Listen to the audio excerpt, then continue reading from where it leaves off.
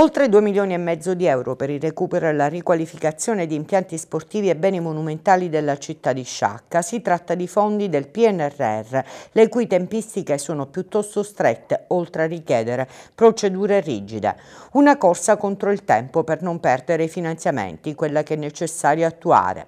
Sul sito del comune di Sciacca sono stati pubblicati ieri gli avvisi finalizzati all'espletamento delle procedure negoziate per l'affidamento dei lavori. Le imprese interessate dovranno presentare le stanze entro le ore 10 di lunedì prossimo, 26 febbraio. Sono complessivamente sette i progetti finanziati, tra i più rilevanti quello per l'adeguamento e la rifunzionalizzazione della piscina comunale di Contrada Perriera per un importo di 889 mila euro e una durata dei lavori prevista in 120 giorni a partire dalla consegna.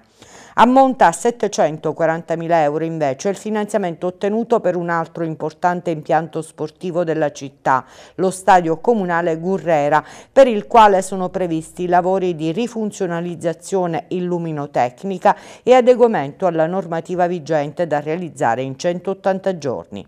Altra struttura sportiva sulla quale si interverrà con i fondi del PNRR è il campo di bocce, sempre di Contrada Perriera. In questo caso la durata del lavori previste di 150 giorni per la rifunzionalizzazione dell'impianto e l'investimento ammonta a 197 mila euro.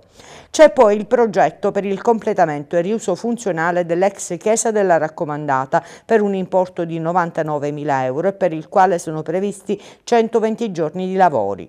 Il progetto per la manutenzione straordinaria e revisione della copertura dell'ex convento San Francesco di Paola di via Giuseppe Licata che richiederà 180 giorni di lavoro e per il quale sono stati ottenuti 225 mila euro.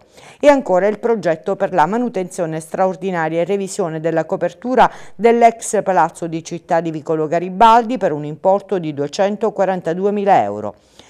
Ultimo tra i progetti da appaltare quello che riguarda la cinta muraria di Sciacca, in particolare la messa in sicurezza delle parti ammalorate delle mura di Vega, via Mazzini e via Calcinaro per un importo di 142.000 euro e una durata dei lavori prevista in 150 giorni dalla consegna. Acquisite le disponibilità da parte delle ditte si procederà all'assegnazione dei singoli appalti secondo il criterio del prezzo più basso.